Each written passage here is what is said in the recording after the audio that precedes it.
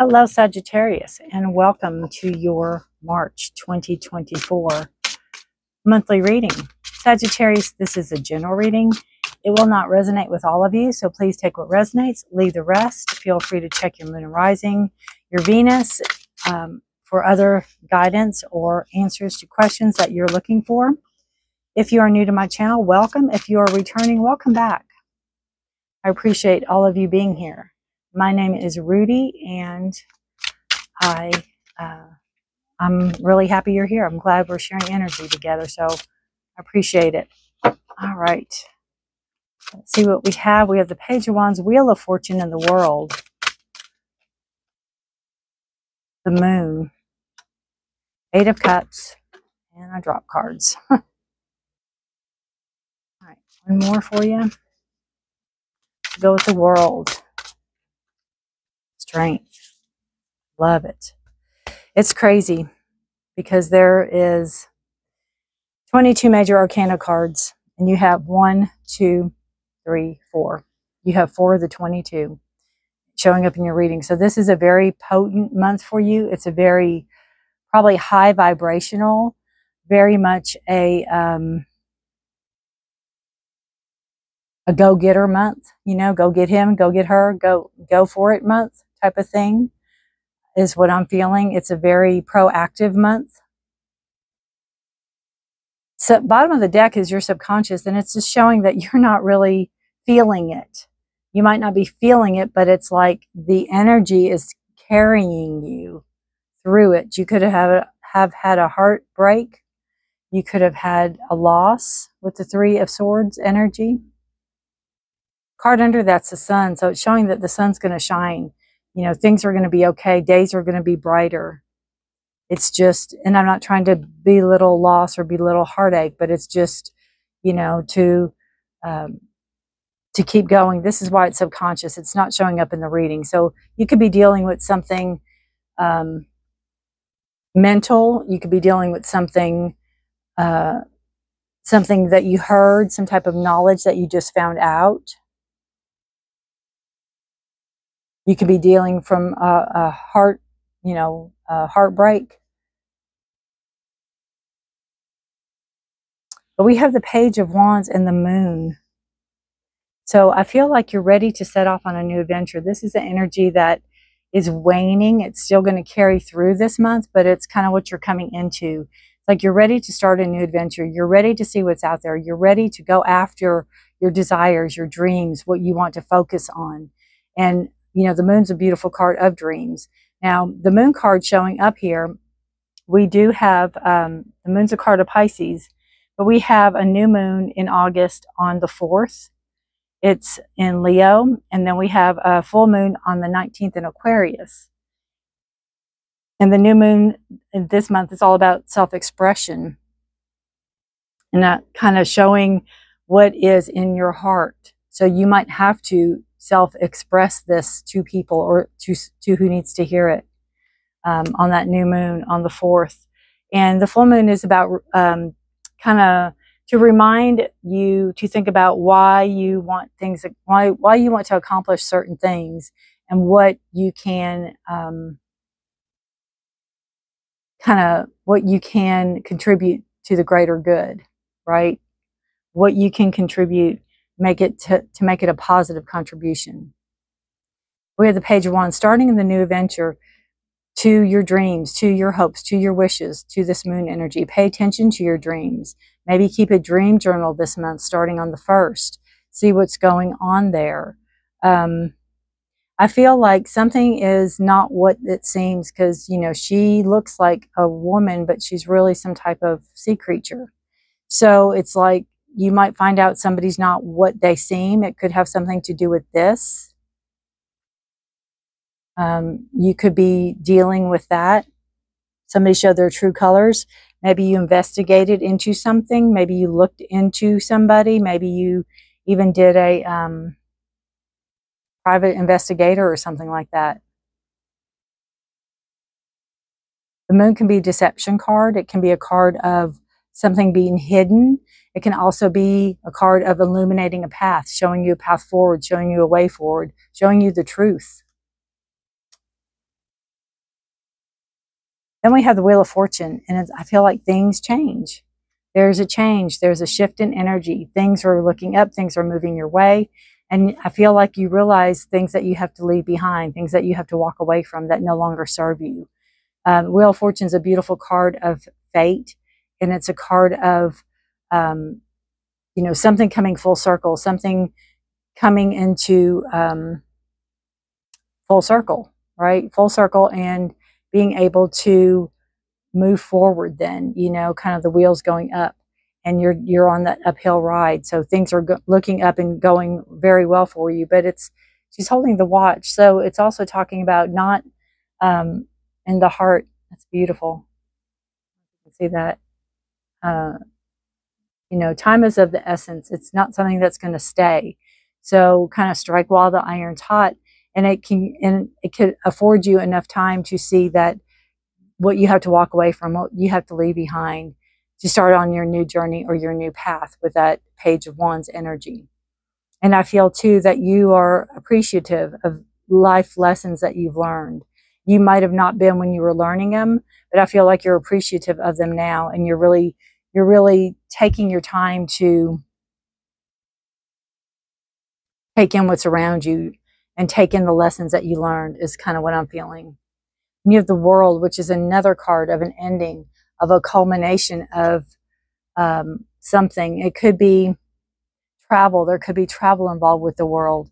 It can also be where you are finishing a big, like you went to school and now it's time for you to get a job. You know, maybe you graduated, maybe you're an attorney, maybe you're a doctor, maybe you're just not just, but maybe, you know, you're whatever whatever you went to school for maybe now it's time for you to to show what you can do. Um, but it's a completion of a cycle. It's something that you are ending in a sense but something new can begin and i think it goes really well with this eight of cups. It's like whatever you're walking away from knowing that things are looking up things are changing and it's like i don't need this old part anymore so kind of like if you're married maybe now you're divorced or you're divorcing or something like that with the world card and then you can start anew. It's the very last card of the major arcana. And so it comes full circle, right? In a sense, it comes full circle. It can be travel. It can be going out of country even. We're the strength card. And that's a card too that is underneath it that talks about you know having the tenacity to get through things, having the foresight to get through things, understanding what it takes to get through things.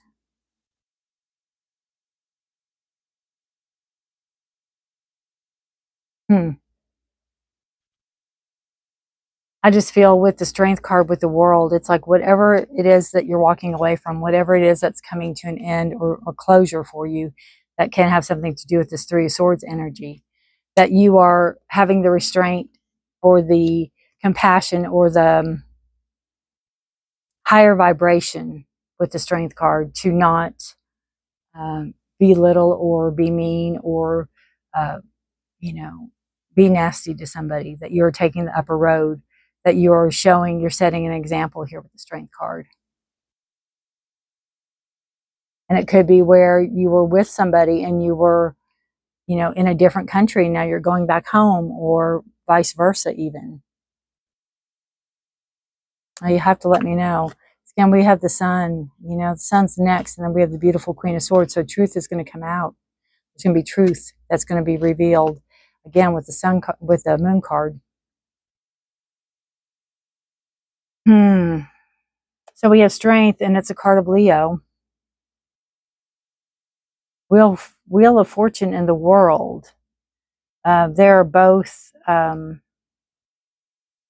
fixed signs. So they're Scorpio, uh, Taurus, Aquarius, and Leo on both of these. And then the moon is Pisces. Very interesting. Very interesting, Sag. All right, let's take a look at, and you know, you like to keep moving, you like to keep going. So I feel that with the world card, there could be travel, the wheel of fortune, you know, things are looking up, things are going in a direction that you want them to go. But I also feel like you have to walk away from a situation or a person or something that is no longer serving you, even though, I mean, you could have gave it, you could have gave it a, a lot. You know, you could have tried, you could have really tried. Else, career.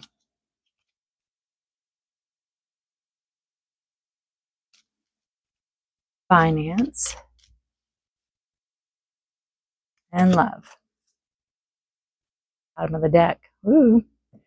Health for our Sagittarius. Whoops. Sorry. Knocked the camera. Did everything right. Good. All right. Health. We have abundance and luck. We have fish. Interesting. Um, I see this as like if you join a gym, you're with people. If you are doing any type of exercise, you're with people. You know, you have clubs or you're doing something together.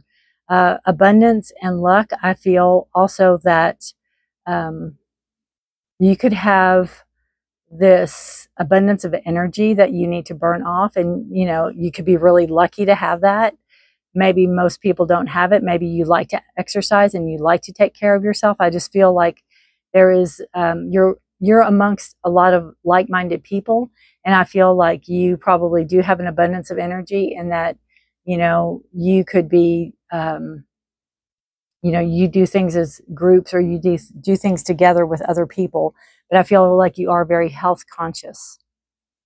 Your career, we have nourishment and transformation the scarab. Um, interesting because to me this is um, this talks about to me the communication. So you could have very very good communication skills at work, and I feel like it can maybe transform the area that you're in. It could add a new dimension to whatever it is you do. Um, as far as the nourishment, I just feel like you feel, you know, satisfied and um, at your job and, and at what you do for your career. To me, there can also be a um, a potential for advancement or expansion. Um, there can be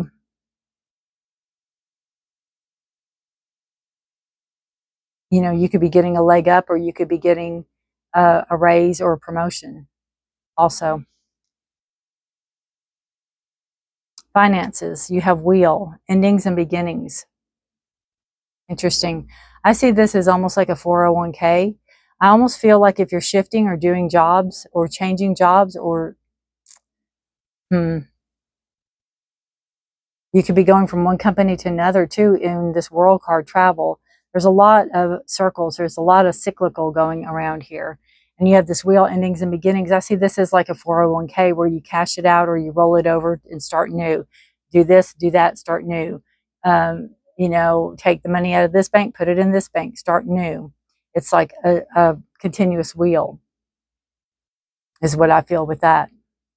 And love, we have loyalty and determination with the dog. Aw.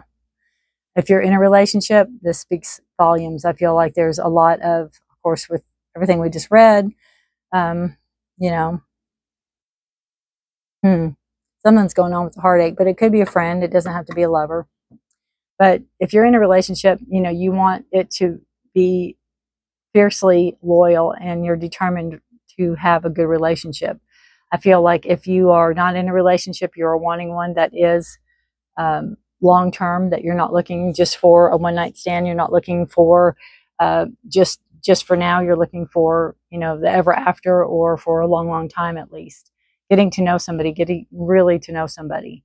And i feel like there's a determination there on both parts for single and being together that you are um, wanting to manifest this relationship or if you're in the relationship to continue on and trust and loyalty are very very important to you as as they should be in any relationship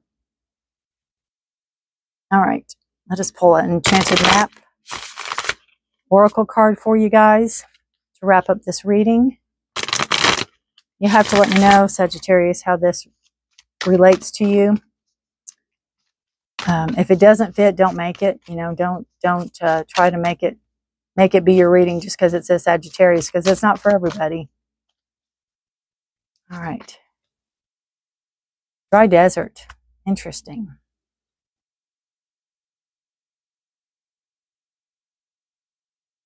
Hmm. It's interesting because I see this as a, it's like a long road that you've been on or a long road that you're on. You know? The book says three and one's four, and that's a uh, number of stability. Looking for that stability, possibly. Dig deep for inspiration and truth. Now is the time to become resilient and adaptable. Very interesting because of the truth with the moon. Dig deep. You know, so I said you might be like an investigator.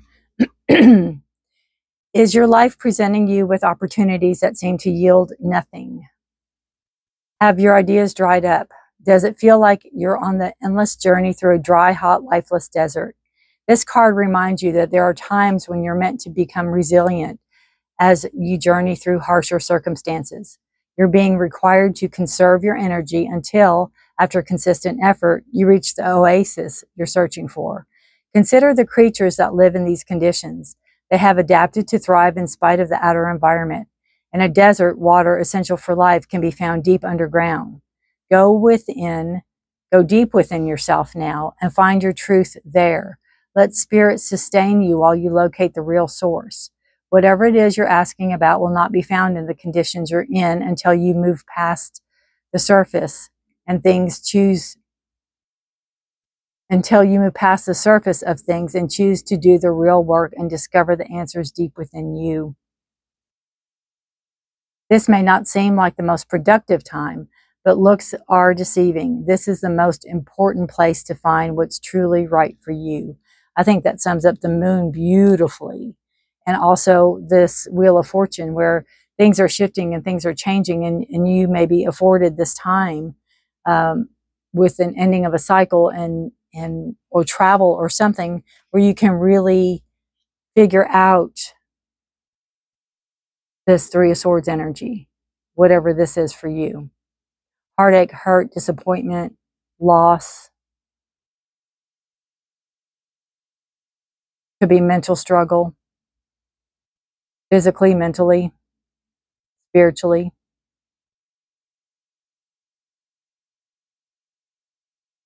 But know that you're going to come out on the other side. Beautiful sun card. It's card of Leo. Beautiful sun. New day, new dawn, new beginning, new start, fresh start. Right? You have that with the Wheel of Fortune act now. When things are presented, go ahead and act now.